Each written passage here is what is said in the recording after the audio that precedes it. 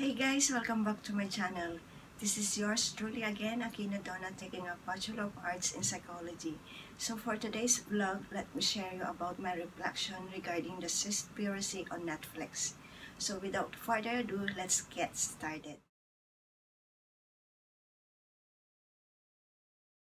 Seaspiracy is a Netflix documentary film addressing our impact on the oceans, as well as its devastating effects of commercial fishing.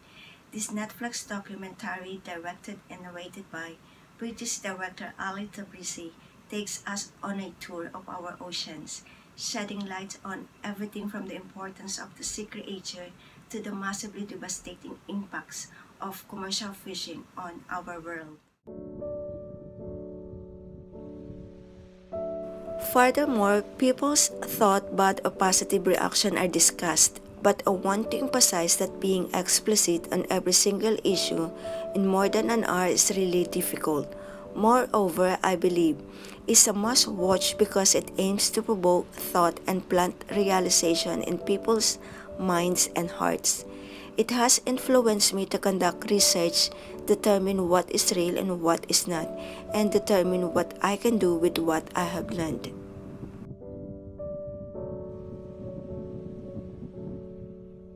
Inside this context, I'd like to offer a moment from this documentary film. Yet some of the interviews were unpleasant to watch, but the first-hand interviews were previously enslaved fishermen. Some issues with government enforcement and inspection of fishing techniques in the wild, and also the impact of commercial fishing on local fishing communities were among the components of the video that is interesting and knowledgeable. Some of the footage has already been extensively covered in previous movies. Nonetheless, I argue and disagree that everyone must stop consuming seafood because it would not prevent the injustices portrayed in the film, since not all fishing is done in a way depicted in the film. In addition, there are millions of people all over the world not eating seafood is not an ideal solution since it is their primary source of food and also protein as well as work opportunities for the people.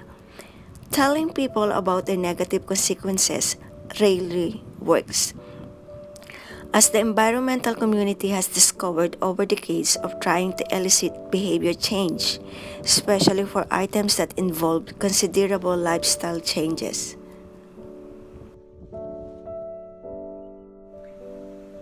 To summarize my content, I desire even after I watch this documentary, viewers will have a great awareness, better understanding of why our food choices are very important. It is acceptable to stop eating seafoods or you may significantly reduce your likelihood to contribute to those issues that are shown to us. Ultimately, it's worth viewing and has excellent production quality everything is greatly appreciated as well as it shows on how and to maintain the oceans healthy. Seaspiracy is a film that I would recommend because it is an eye-opening, shocking, and unquestionably one of the best documentary films on Netflix of 2021. It exposes the worldwide fishing industry's corruption, pollution, and emotion. This documentary is both entertaining and engrossing to watch. It's a wake-up call for individuals who wish to contribute to making the world a better place to live. And so, if the ocean dies, so do we.